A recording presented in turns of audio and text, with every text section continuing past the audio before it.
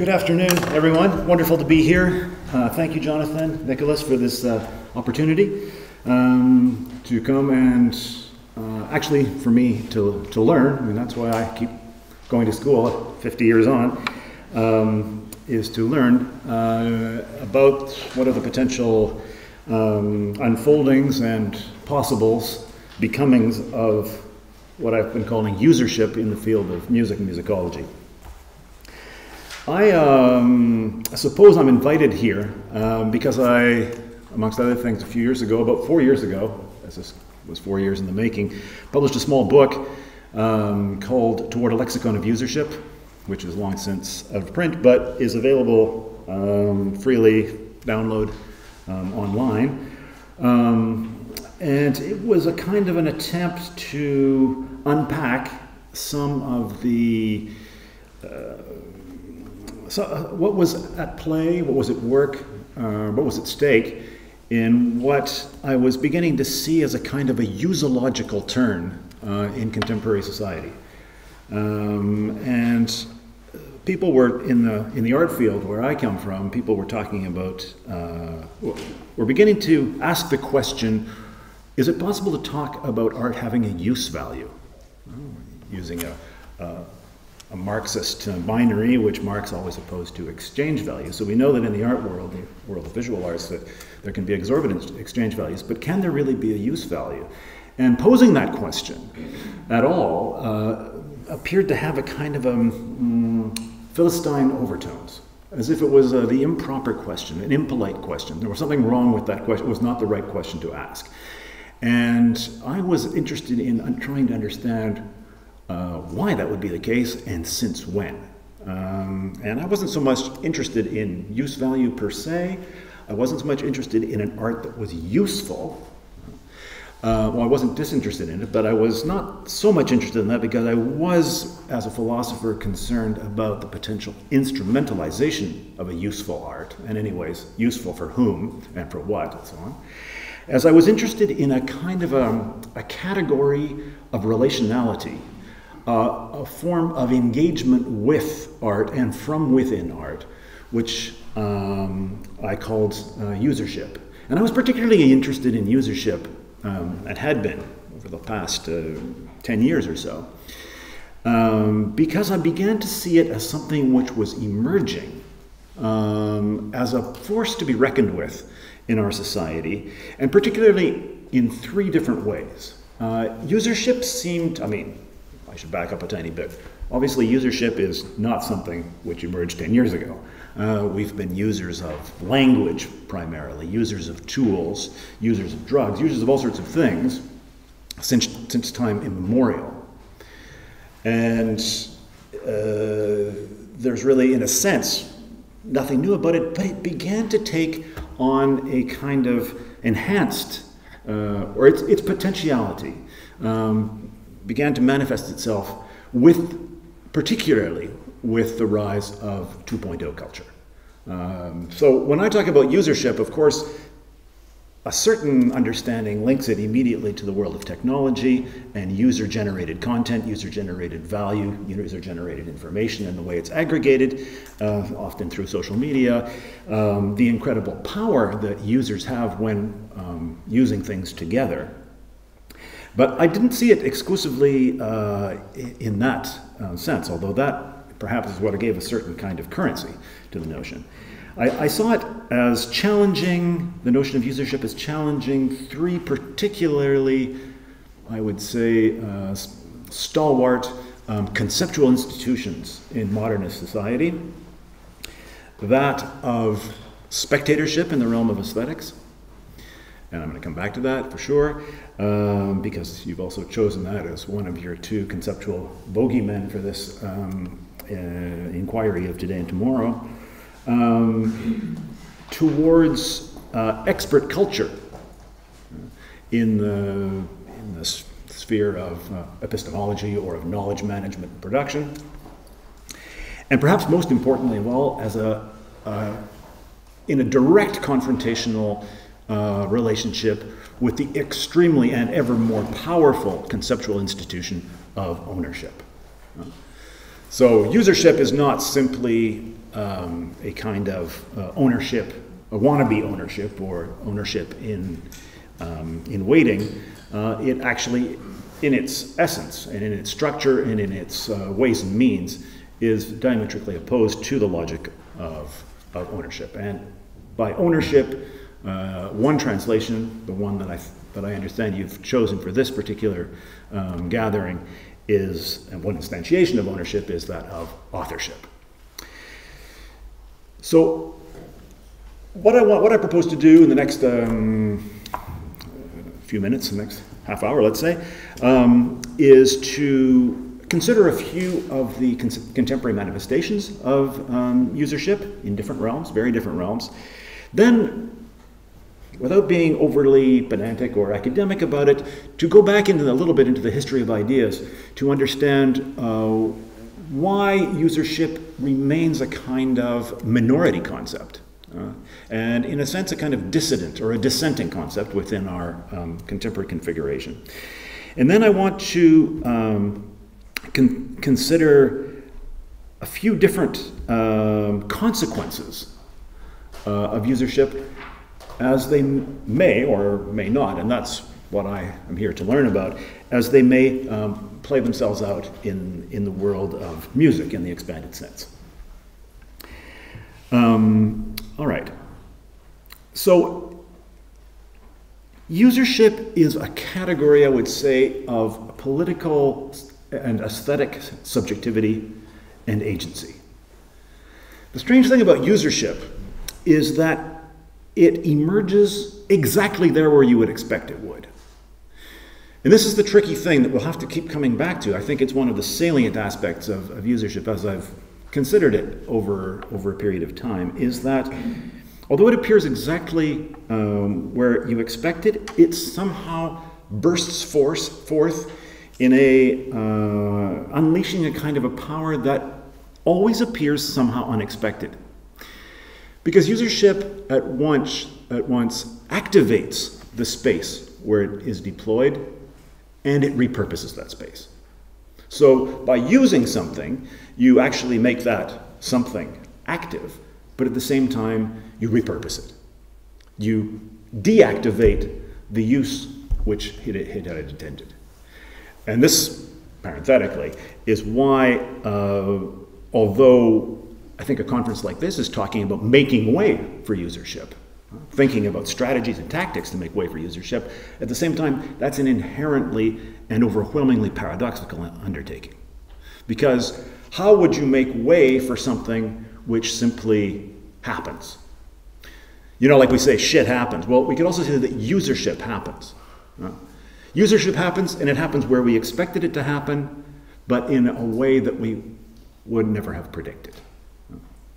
And so this, all, all types of, of artistic practices or, or architectures which seek to um, make way for usership, to, to plan the integration or the participation, the active offering a, a kind of a set of tools um, to users. Uh, this would be the challenge, for example, of, of our contemporary institutions, what, what I sometimes call the Museum 3.0, uh, because right now we're operating a, under an institutional paradigm of 2.0, not just online, not just in social media, but across the board. In other words, the people who go to museums are actively contributing to the value of those institutions. They are actively producing content. They're not simply um, consuming. Uh, they're not simply uh, idly uh, taking advantage of, of something which is offered to them. They are actually um, stakeholders in the production of that value, but they're very rarely remunerated um, we sometimes think it's a, it's a great deal, and this now going back to online culture, we think it's, it's pretty cool that we don't have to pay for YouTube. Well, YouTube's not very cool, but I mean, we think, okay, well, there is sometimes some interesting stuff on there, and you don't have to pay for it. I mean, how awesome is that? But actually, if you, if you think about it, um, why is uh, a, a, a, tool or a, a platform like YouTube uh, so valuable? It's valuable because we all use it. That value, when YouTube was, was sold, number, 10 years ago now, nine years ago, um, was sold, you know that it was sold at a, at a price that was uh, exorbitantly higher than what it was uh, evaluated by experts to be worth. And it's because the calculation was made in a way which was incredibly innovative at that time, is that the price was not based on how much wetware, how much software, and how much hardware uh, YouTube uh, came with, but how many people actually use it. And it turns out the number of people who use YouTube is the same number as people who have access uh, to the internet. In other words, we are all collectively the usership of, uh, of a platform of that kind, without talking about Google and, and, and the others. Uh, and so, in a sense, all the value, essentially, which those platforms um, embody, we and we alone have produced that. We, the usership, collectively, globally. And yet, we think it's a good deal that we don't have to pay to. I mean, uh, the swindle is so um, overwhelming that it's somehow invisible. But it's something which is incredibly interesting um, to think about.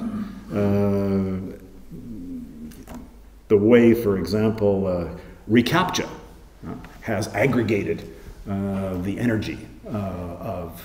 Is everyone familiar with reCAPTCHA? Because it's, it's, kind of a. I mean, it's, it's an anecdote, but at the same time, it's. Um, well, you're familiar with it, even if you don't know you're familiar with it. But it's, it's a telling anecdote, so I'll, I'll, I'll tell and then we can move ahead.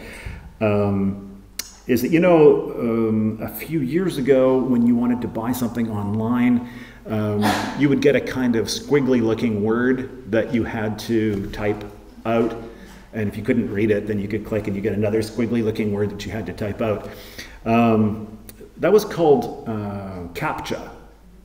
And it was designed by a, a brilliant Guatemalan software engineer called Luis von Ahn. And it was used to protect um, online purchasing um, from spam. And so it, uh, and the reason it works is because the human eye, um, and there would be interesting ramifications to the, the human ear in the, in the, field of music, but the human eye is capable of very quickly, it's not always possible to read that squiggly thing, but the human eye is capable of, of reading something which, even now for computers, is comparatively uh, difficult to be done with any kind of level of reliability. Um, and so, very quickly, now here the numbers are huge because we're talking about social media. Every day, soon, some 200 million users were using um, CAPTCHA for their online purchases. So basically, every online purchase came with a, a CAPTCHA feature. So it takes a, the average person takes them about 10 seconds to solve that problem. 200 million times 10 seconds amounts to a colossal amount of cognitive labor, if you want to call it labor, cognitive usership, but equivalent to cognitive labor. In other words, the biggest factory in the world could not muster that kind of intellectual labor force. So Luis von Ahn, the inventor, felt a little bit ashamed. On the one hand, he felt very proud because he found a tool which the internet could no longer live without. But he felt ashamed because he was wasting 150,000 hours of human brain time every day. And he thought, well, surely we have to protect online purchasing. But surely we could do something more interesting with that than just having people wasting 10 seconds at a time. And so he invented reCAPTCHA, which is still out there, but it's been replaced by reCAPTCHA 3.0. So you remember that you would get the squiggly word, but then you'd get a fuzzy word too. Well, what was the fuzzy word? The fuzzy word was a word from a book or a newspaper printed previously to 1946, where the type of paper um, contained enough acid that there was a kind of um, smudging or running of the ink.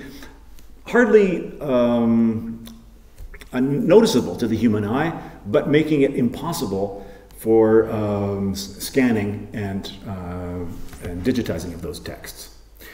So what would happen is that they would give you the two. You, if you got the, the squiggly one correct, okay, but how would they know if you got the other one correct? Since the whole point was to digitize basically the, all of world literature previous in 1946. This was the task that humanity had been set by Louis von Ahn. Um, it's not the worst use of our labor, cognitive labor time, but we never consented to it either, um, was to digitize all of uh, literature up to 1946. But what they, just, what they determined was that it would take, um, if 10 people got the squiggly word correct and got the same answer for the word, the fuzzy word, then they would validate the fuzzy word because the chances were that it was correct. You think, well, with a protocol like that, it's going to, I mean, it's going to take to the end of time in order to get through uh, war and peace. Uh, well, no, actually, because of the scale of this aggregated usership, of course, uh, books were being uh, news entire years of, of, newsprint were being digitized every hour. So i mention that because it raises um, a, number of, of interesting issues. It comes back to what um, uh, nicholas and jonathan said in their in their um, introduction is that whereas production and the production reception paradigm in general was one of the key words of modernity and of the 20th century. Usership is, although it's often opposed, it's often um, dismissed as a kind of passive category of consumerism, is actually entirely different than that. Usership is at the same time production and reception, and neither one. Because it points the way, and this is the kind of the, this is one of the political or political economic um, dimensions uh, utopian dimensions in a way, a kind of a concrete utopia that it embodies, is that it could point the way toward beyond to, towards the abolition of labor. Because if you can produce value for which you would normally be paid, but for something which you wanted to do anyway, wouldn't that be kind of a one definition of the abolition of labor? And so this is why I think that even in the most trivial um, uh, instances of usership, it remains a profoundly uh, radical form of political subjectivity.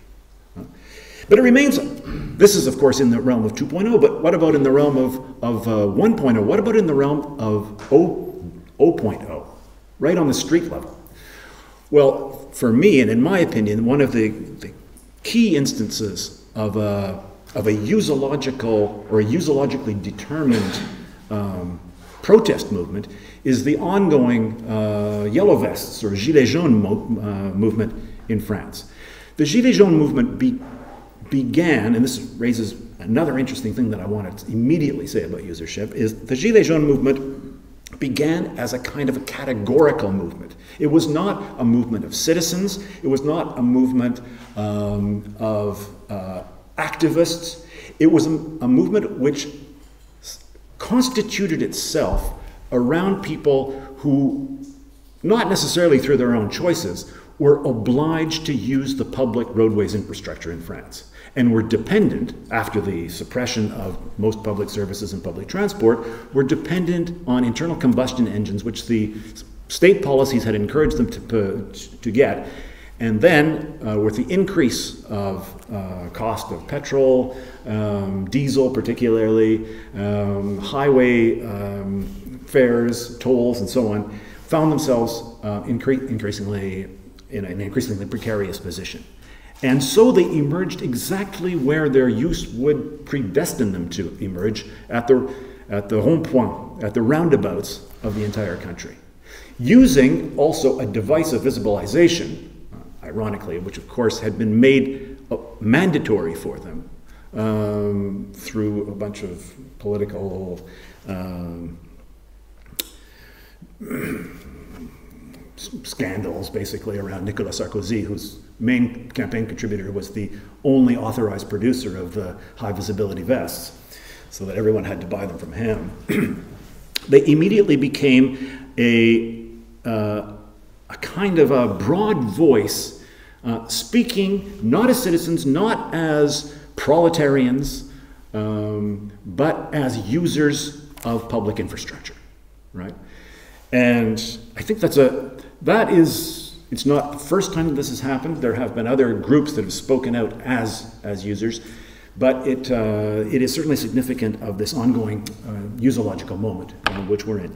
But it raises another interesting because every, another interesting issue is that usership is a very double-edged double-edged sword, and we'll see that throughout the, the examples and in the in the unpacking of some of the, the history of the idea. Is that usership is obviously based on some kind of uh, self interest. Uh, it is not based on those uh, grandiose um, concepts uh, so cherished by modernity of uh, the general interest. And this is precisely what is uh, the objection of the expert culture, uh, of, the, of the expert class against, against usership. And, you, and by expert class, I think we can see this some, something right across the board. Uh, the expert class uh, could be in museums, for example, the curators and the, direct- and the directors who don't want to make way, or perhaps would like to make way for some kind of mm, controlled usership, but feel that usership by and large is too unwashed a category uh, to be um, immediately embraced. How do you make way for uh, usership in a museum, for instance, when your role is to show custodianship for incredibly valuable art objects. Because if people use those, who knows what use they will make of them? No. It's a real problem. And making way for usership um, confronts that, that idea um, in, in a sense head on. So I come back now to what I was saying at the beginning. Um, I, I was wondering in the realm of aesthetics just why it was that there seemed to be something even something wrong with talking about usership in the realm of art at all. And I think we've made some inroads here, and I think that, well, the fact that a, a symposium or a, a, study day of this kind can be organized shows just to what extent um, the conversation is moving forward. But I can assure you that 10 years ago, this could not have happened. It's not possible to have organized in a, in a research institute of this kind a discussion around, uh, around usership of music, or in music, or in the visual arts. And why not? Uh, why is it emerging now, but particularly why was it repressed before? Was the question that I, I found myself asking. And in order to answer that question, um, after groping around in the dark for a while, I realized that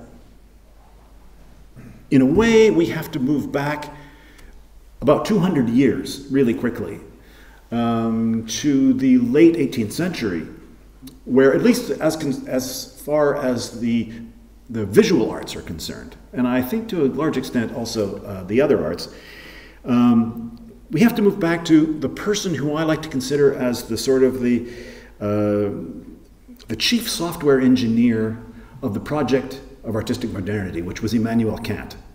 Immanuel Kant was uh, an author of uh, three, what are called the three critiques critique of pure reason, the critique of practical reason, and for what interests us here, the critique of judgment. Uh, in I'm pinning all of this on, on Kant. It's a little the story's a little bit more complicated, but to, to move um, forward uh, quickly, uh, we can do it this way. Is that in in that um, that book, the, uh, the Critique of Judgment, Kant was concerned about defining the conditions of possibility of true judgment. In other words, judgment which was not um, simply a subjective preference, but which was founded on something um, uh, much more solid, which a kind of a universal um, judgment. And but he, what he did is that he took the example of art, and uh, because he thought it would be a perfect um, case study if it was possible to determine the conditions of uh, judgment of art. Is this art good or bad, or is it beautiful or not beautiful, and why? um, then he might have the model that he needed for other forms of judgment.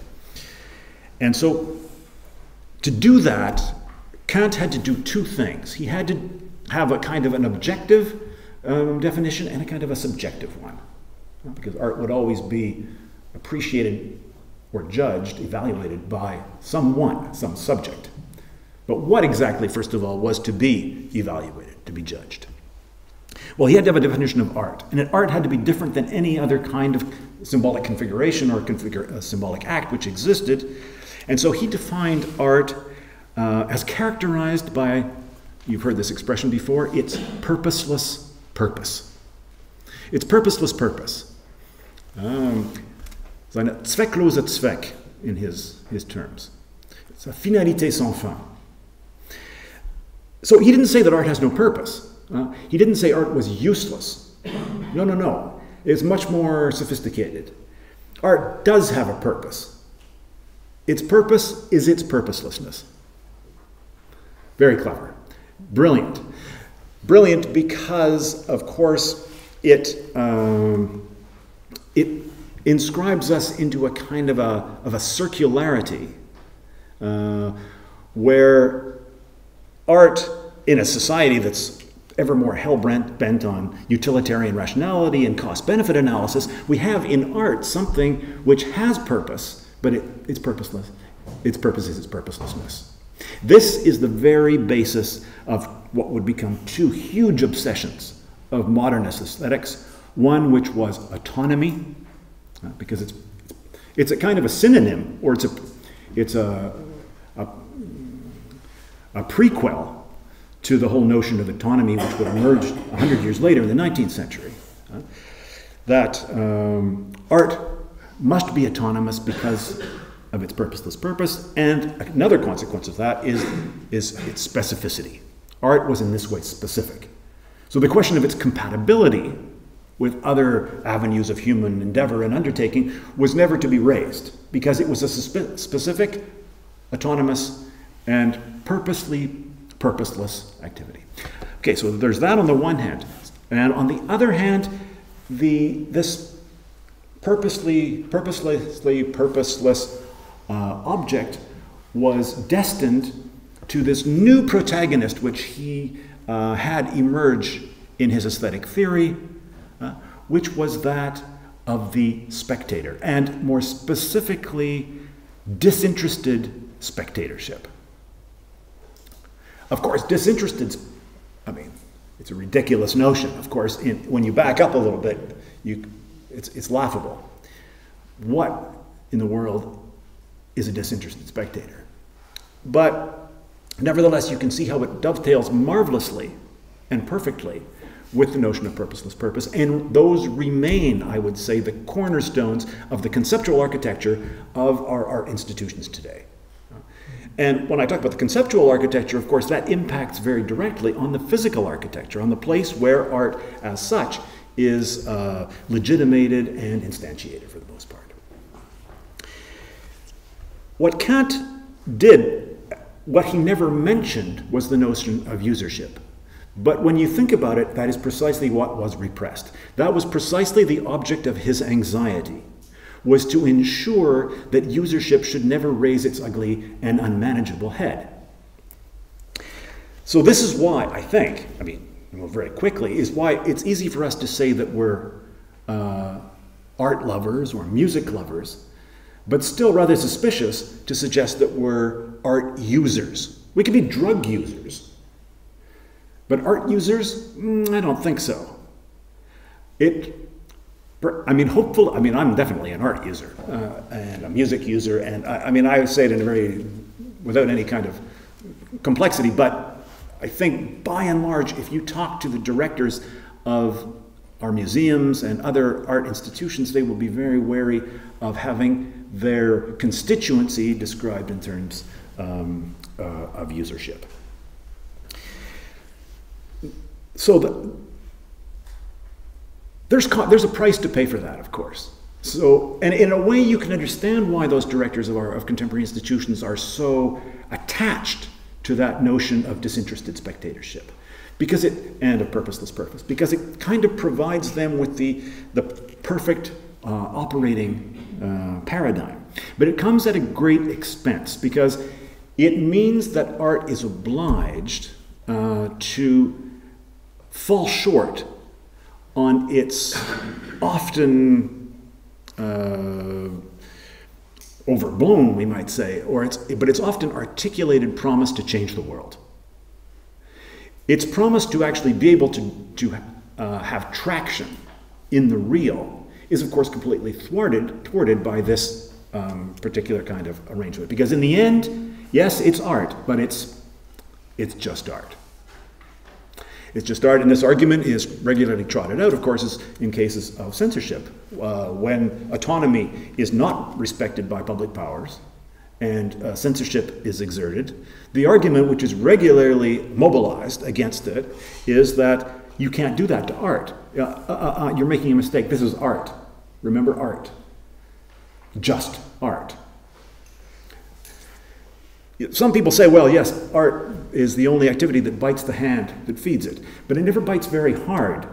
And it never can bite very hard as long as it remains within that paradigm. And I think this is what explains why, over with the, with the failures of the uh, different, the successive waves of avant garde uh, in the 20th century, why the 21st century uh, began with a kind of um, well, with this usological turn, which I was referring to, where more and more practitioners are finding this is too excessive a price, price to pay um, for the um, for their continue their activities under the under the guise of art, and are seeking ways to develop greater traction within the real. In other words, to develop uh, an engagement with a usership rather than that that holy trinity based on artwork, authorship, and spectatorship uh, which is constantly triangulating in, in, various ways, which was the, the very model of, of art since the Renaissance, they're looking for ways to replace that notion um, with, uh, with notions of a more, a more substantive and a, more, a, broader form of relationality, which, is, which I call, in any case, usership. So that's, that's, in, that's in the sphere of, uh, of aesthetics. Um, so perhaps you're, you do not hear any resonances with music, or perhaps you do. I'll be interested to hear your, your, your, your challenges to, um, to that particular take on things. I'll move quickly now to the, to the realm of knowledge management knowledge production, because that there too, um, the last uh, 15 or 20 years have seen a, uh, the consequences of a, use, of a usological turn.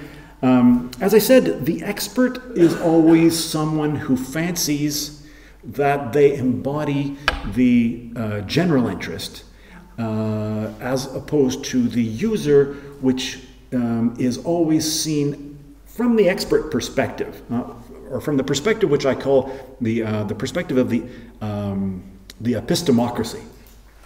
The epistemocracy, those who govern basically through knowledge. Um, and, and when I say epistemocracy, I do say it with a kind of, in a slightly dismissive way, um, but not entirely, because obviously they have a point. And if you follow the development of the Gilets jaunes, uh, the yellow vests, you can see the, these two positions playing themselves out in a very antagonistic and unreconcilable way. Because for the expert, the user is always a misuser. Uh, the architect, the star architect, the great architect of the 20th century, the, the uh, who, the architect that, that embodies 20th century architect, uh, architecture, as Le, Le Corbusier, had incredible contempt for the, the users of his, of his buildings. In fact, he would have been most happy had there been no one in there. Or if they could have been inhabited somehow by robots, which would not have access to artificial intelligence, that would have no way to repurpose those spaces. Because that's precisely what users do. But there is a kind of epistemic privilege, if you could call it that, which comes from the fact of merely using something. So for example, the person who gets up every morning at 5:30 to take bus number 131 from their home to their place of work knows something about that bus route that the expert who works at City Hall, that conceived it after doing any number of case studies and demographic uh, studies and geographic studies and so on, all that, and very honest uh, taking into account of the general and the public interest, they cannot know what that person who, who uses it uh, each day could possibly know. Same thing with, the, with, with drug users. Someone who actually uses drugs has a kind of an experience, um, and, and, it's a cognitive uh, or an epistemic dimension of experience, which the, uh, the doctor who advises the legislator on uh, prohibiting or authorizing this drug or that drug could never possibly have. And I think that the strongest case um, example of this, uh, maybe it's the strongest case that can be made for usership overall, because it kind of reduces it right down to its very essence, was made by the great philosopher of language, 20th century philosopher of language, Ludwig Wittgenstein. Ludwig Wittgenstein had a very uh, powerful but disarmingly simple um, theory of meaning. Um, and this really speaks to me in a certain way, uh, is that his theory of meaning is that meaning was, was not given in a divinely. In other words, it's not something to which, to which we have no access, but we can only uh, access through the shadow uh, of, the, of the light which it casts but it was something which is there, nor is it something, as Heidegger would have it, something that we could uh, tap into uh, if we could listen deeply enough uh, to, the, um, to the Dasein. No, for Wittgenstein, meaning, all the meaning that there is, that is, all the stability that there is within the world, is determined by the users of language, that we are, and by us alone. So usership alone determines meaning and ensures what he calls stability through use. Which is why there is, in a sense, no absolute, uh, um, absolute correct way to use language. And this is another debate between the epistemocrats and the users of language. The, in, in, France, for instance, the Académie Française is constantly um, uh, codifying and um, giving little précis about how uh, this or that uh, piece of grammar or syntax is correct and this one is wrong and why it's wrong and so on. So the, it's an attempt by expert culture to legislate usership, which of course is pure vanity, absolute vanity, because use will be determined by that community of, of users uh, per se, which leads to a, a very important, uh, I think, political consequence, and one which often comes up in debates is that usership is an inherently self regulating category as a, in terms of political subjectivity. In other words, um, we can say from the lofty perspective of general interest that um, use must be, uh, this must be used in this way, and this would be an abuse. This is misuse, and this is abuse. Uh, well, that may be true, and we certainly all have our thoughts on that, but actually, there is no possible way to uh, control that outside of the sphere of usership itself, ultimately. I mean, you can use, you can lose policing powers you can use policing powers within the language too, but um, with uh, historically limited success, of course. Um, and so that's, that's an important thing to bear in mind also when, when we see usership as a kind of agency over in, in, within historical processes. And this leads me to the third category, which is, in terms of political economy, the most important, and is the one that's linked here to the notion of, of authorship, which is the opposition of um, usership to the regime, the ever expanding regime uh, of ownership, particularly within the, within the realms of intellectual property, because there's not much left on the, uh, the, the, horizontal surface of our planet that is not owned by someone.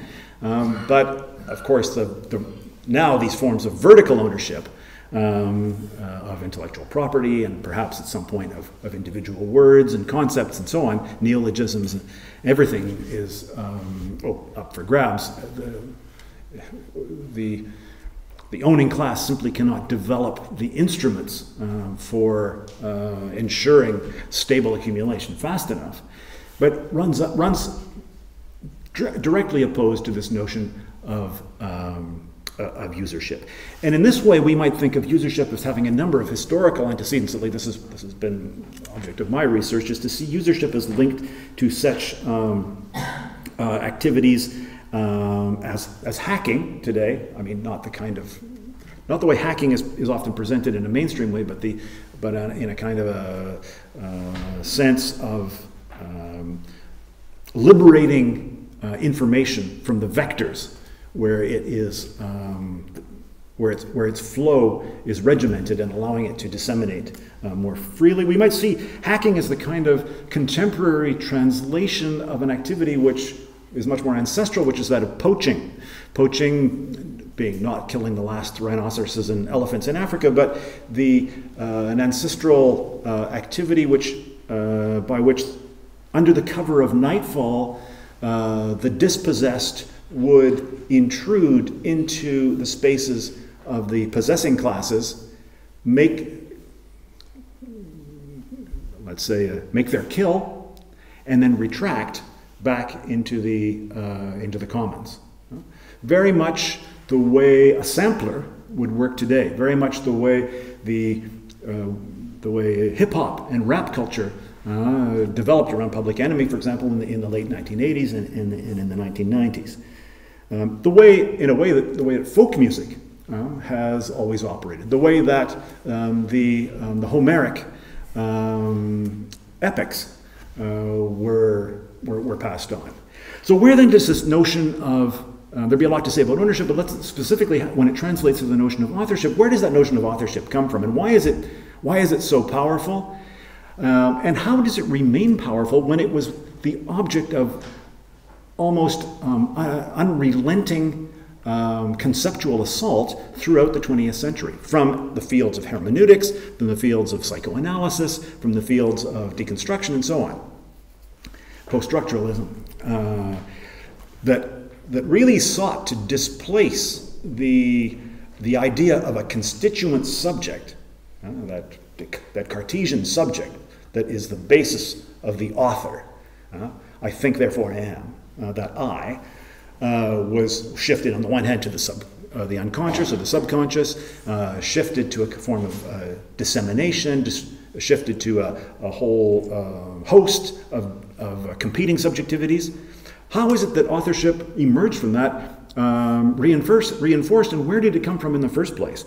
There was no, this is, everybody knows this, there was nobody called Mr. Homer who wrote the Odyssey and the Iliad, right? It was a, that was a kind of an author function that was placed there in order to, uh, to limit to some extent uh, uh, semantic slippage in every direction. That's the argument, anyways, of, of Michel Foucault. Uh, no, I think that the notion of authorship is uh, un, inseparably linked to the whole theory of what in political philosophy is called possessive individualism.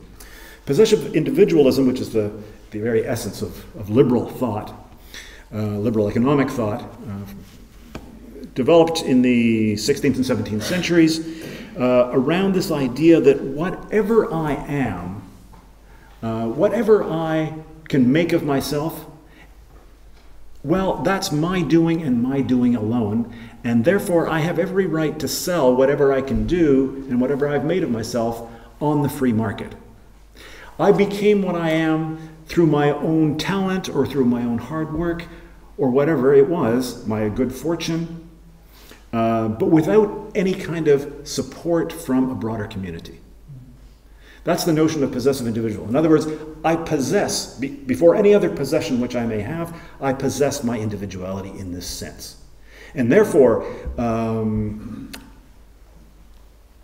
the, well, the consequence of that kind of thinking, of course, we're seeing it uh, more radically every day uh, in, in contemporary society, where, the, where the, the extreme consequences of this liberal thinking are actually being experimented with on the, on the grand scale is that, for instance, education is an investment and not something which a society should uh, underwrite in order to ensure its own reproduction, as it's always been conceived by every other society in the history of, uh, of humanity, is that now it would be an investment that each individual should make in whatever it is they want to make of themselves so that they can sell whatever that is for a higher price on the market. That's the notion which authorship ultimately is linked to. And I think it's also very significant that at least in the in the some the notion of usership, of course, is diametrically opposed to this notion of of um, uh, possessive individualism, but it's also very much linked um, to an idea of co-authorship, because the use which one makes and what one uses, one never is never entirely for oneself. It's always um, it's that it's there's a kind of a notion of using it together. I mean, that notion of um, do it yourself, which I'm, which I'm kind of got in the back of my mind here. Do it yourself emerged um, basically in the 1950s in, in um, Western Europe and in, and in North America. It emerged at a time where expert culture had, uh, and, and the um, taylorization of the labor process made it so that uh, people who had, had formerly had access to all phases of the production process were being atomized into one very small um, uh, sector of it and had no oversight on the production of things. And so there was this kind of rise of the do-it-yourself movement, the bricoleur, Uh, all sorts of manuals were made available, and it had that, that thriving success and was, and was much, uh, much triumphed by someone like uh, Claude Lévi Strauss as being the, the example of a, of a, of a, a non um, rational scientific society. Um, but then, then there came this idea in the 19, well, the late 1970s with the punk movement, uh, which was here's a chord, here's a second chord, let's start a band, right? And so it took that idea of do it yourself and added a do it together kind of uh, ethos and deployed it in the realm of symbolic production. And so I think that today the this notion of usership as it, as it uh, is uh, embodied and uh, experimented with in, in the cultural sector takes on this notion of using it, uh, using it together. Okay, so now, so those are those are some of the underpinnings. Those are some of the the, the, the manifestations in different um, fields. But I'd like to look before I um, before I sh- shut up um, at some of the, the consequences of usership, as I think they might impact on your field, because as they've certainly impacted in any case um, on mine. One, uh, one of the most important, uh, one of the most interesting things, I think, um, in, in the visual arts in any case, or what's called the visual arts, because often there's not really a very strong visual component anymore, uh, but what emerged from that tradition in any case is that, well, what happens when uh, art, where the, where the paradigm of spectatorship is displaced and then replaced by the paradigm of usership. Well, one of the things is that the scale of operations changes. In other words, it allows art to ramp up its scale from the reduced scale, which the modernist paradigm uh, um, locked it into, to operate on the one to one scale. I don't know if you know this um, this tale by um, Lewis Carroll. It's quite a it's quite an interesting one. Called it was in a book that he not his most famous book, but in an 1893 book called um, Sylvie and Bruno Concluded, uh, and in it it describes these kind of happy-go-lucky um, encounters between the narrator and his girlfriend and and different characters. And one of the characters they meet is this, this one called Mein Herr, and they start to talk about map making.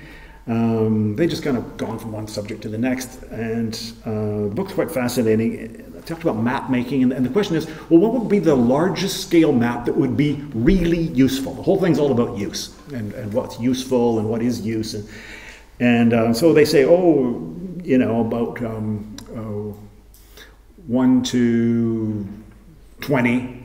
And Mein Herr says, wow, 1 to 20, you must be kidding. Um, we did like 1 to 10, and then very soon we went to one to one. We, we, we made a, a map of the country on the same scale as the country itself. And the narrator says, Oh, really? Did, did you, have you used it much? Question of use again. And my narrator said, No, no, no, it's, it's, never, it's never been unfolded because the farmers uh, objected. They said it would block the sunlight and kill the crops, which well, a real lot to say about, about the, this ecological uh, critique of, of map making and how light shedding devices are light occluding devices. But what's interesting, particularly, is what Mein Herr says after that. He said, So now we use the land itself as its own map, and I can assure you it does just as well. And so it's a very interesting idea, right? Is because it does not evacuate the question of map making it simply evacuates the map as an intermediary or as a reduced scale or even a full scale um, uh, interface uh, between the user and what is being used. Use the land itself as its own map. For me, when I read that line, that was a, a perfect description of usership oriented and usership generated practices, uh, which literally use the, the land itself, as it were, as, as its own map. But what does that mean? Is because a, a usership oriented practice is one which actually engages usership for something which is useworthy. Uh, and so it, well, one thing that happens immediately is that its coefficient of artistic visibility falls through the floor. its coefficient of artistic visibility becomes negligible because it both is what it is and an artistic proposition of what it is. It has what I would, was calling in those days a kind of a, you know, in, in those days uh, before I wrote this book uh, and when I was writing it, um, a, a kind of a double ontology. You see what I mean by a double ontology is that it, it has a kind of primary ontology as whatever it is, and a kind of superimposed secondary ontology as an artistic proposition of the same thing. It's a kind of a form of redundancy, um, incorporated in redundancy. So, an art proposal, but a proposition. Uh, so, uh, what it is and a proposition, an artistic proposition of the same thing. So, that has an enormous number uh, of consequences. Um, but why did I talk about a double ontology? Um, and this is one of the things which I've backed off from quite, quite a lot, but there perhaps is an interesting lesson to be learned here, and I'll, I'll just mention it before closing, is that the reason I talked about um, double ontology is because contemporary art theory, in order to distinguish art from what analytical philosopher Arthur Danto calls the mere real thing, uh, in other words, the ready made from the uh, homologous uh, object that is not art, the difference cannot be based on any perceptual properties because there is no perceptual difference between the land itself and using it as its own map. The difference, though, could not be greater. So the difference can only be ontological from a certain perspective. It's a, it's a, it's a kind of a halo which uh, is there and not there, which shines over the, the configuration or the action, the gesture, or whatever.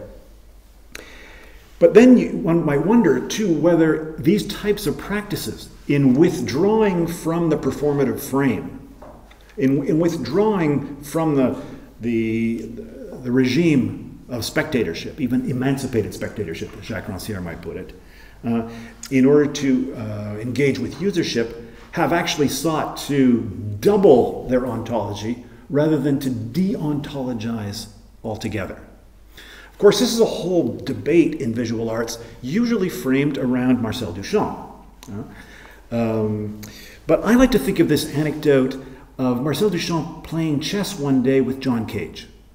And you know that Marcel Duchamp was an well, he was number one plus, uh, chess player in France, and he was at one time in the 20s ranked as number seven in the world. So he's a very accomplished chess player. John Cage was very amateur chess player, but what would what apparently infuriated Duchamp is that Cage paid no attention to the game. He would just sort of move like this. And at a certain point, Duchamp said, But for Christ's sake, John, think about what you're doing, you know. And Cage said, Marcel, it doesn't matter. What matters to me is spending 20 minutes or so in silence with you. So it's a kind of a, a, beautiful encounter, this notion that what he wanted, what he was seeking was silence. 20 minutes or so with Marcel Duchamp. So perhaps, perhaps, perhaps it's Cage that allows us to shift the shift away a little bit and I think this has tremendous consequences. Perhaps not for you, but I think in the, in the field of aesthetics, the consequences are quite considerable. To shift away from the idea that art has an ontology at all. And I suspect this is what, what Cage was getting at, is that um, whereas Duchamp was kind of obsessed with the notion of, of ontology, uh, Cage, I think, could care less. And that seems like a very reckless position to an aesthetic philosopher. Because then, how would you separate art? Wouldn't we lose the concept of art altogether? Would it not simply uh, evaporate or be uh, reincorporated back into the world, which might not be the very worst thing that could ever happen, but it, it, would, it would be of, of concern to an aesthetic philosopher. And Duchamp put this put forth in, in, in one of his um, es, in a little talk actually that he gave in Houston, Texas, in the end of the 1950s. He put forward this idea of a coefficient of art. By coefficient of art, he said that he meant the um, hiatus or the, the décalage, the gap between um, what was intended but unexpressed and the unintentionally expressed. In other words, so when, when anyone sets out to do anything, compose a piece of music or, or, or do a painting or anything, there's obviously going to be a kind of an intention, but that part of that intention will never be realized, and yet something will be realized that was unintended. And of course, it's that gap that, uh, that Duchamp said he wanted to, to define through an arithmetic um, re- relationship, which he defined as the coefficient of art. And it's an important thing because, of course, it, it is what means that art is not exhausted in the moment of its emergence, in that, in that flash of uh, emergence into the world, and that it can be that it can exist over time and, and be uh, the object of interpretation. But he called it a coefficient of art. That's the weirdest way to describe that, that gap. And so it's almost as if there was something unintentionally expressed in that notion of a coefficient of art, something that was inaudible to Duchamp himself. But something what would have been audible to Cage. What if, for example, uh, in 4 minutes and 33 seconds, it wasn't so much about um, putting this ontological, because performative frame around uh, certain selected uh, segments of time and experience, time space, but it was, it was about saying, how much music have we here or there? How much art here or there? What is the coefficient of art of this or this proposition, or this or this gesture, this or just action or configuration? So I suspect that that type of um, very relaxed understanding of where music or where art may manifest itself in the world uh, may have considerable implications for art and music um, considered under this, um, this, this usological paradigm. I'll just give you one quick example. Perhaps you already know it. The, the work of, uh, of, a, of a collective called Forensic Listening. Uh, which is which is a subsection of a group at Goldsmiths, or initially Goldsmiths called Forensic Architecture, and it's the it's a sec- sector developed by Lawrence Abu Hamdan, um, who has a training, a formal training as a, as a musician, uh, also works as a sound artist, but he doesn't produce sound art. He uses the skills, or what I call the competence, of sound art um, as an investigative tool. Um, because he feels that in our society, which is, is ever more uh, premised on different types of um, not only normatizing, but of, of um, normatized uh, surveillance systems, where accents, for example, are measured by, by state bodies to determine uh, the origin of the person, to determine whether they um, can benefit or not from uh, refugee status and, and, so on, where the whole notion of sound has become an incredibly uh, mm, invasive and pervasive but also potentially um, usership emancipating kind of a tool. So, what, so what does he do? Well, I mean, he's done. Check it out if you're at all interested in this kinds of things. But like many um, usological practitioners, what he's doing, at least in my reading, uh, like so many of the of the artists that are the objects, at least of my research, is that he's making a kind of a distinction between um, artistic competence and artistic performance. And I know performance is a huge thing in music, so that's why I dare to mention this. It may seem as a bit of a provocation, but do you know that then that in the theory of language, uh, or particularly as generative grammar developed by, by Chomsky and that continues on under different names today, there's a kind of a distinction, and it's an Aristotelian distinction ultimately, between competence and, and performance. In other words, that just by virtue of being a native English speaker, uh, I have what's called a competence. In other words, a competence to recognize um, what is a meaningful sentence as opposed to a meaningless one. Um, it, competence doesn't come, you can't be more or less competence. You, you, you have this competence. But you need never perform your competence in order to possess it. And this, I think, is a key to this usological turn as it plays itself out um, in the arts, is that uh, musical competence, too, um, need not be performed or need not be performed as music in order to exist at a certain coefficient of music. and perhaps in that way to find um, uh, greater traction in the real. So when I talk about um, in the imperformative, uh, or when I talk about the, uh, the deactivation of art and music's aesthetic function, uh, oftentimes this, this creates a kind of jitters among certain practitioners as if there was some injury being made to all that they had premised their creativity upon. But on the contrary, I think it's um, that it's simply an invitation to reconsider where these ideas uh, that we take for granted came from and to enable us, to help us to take them less for granted.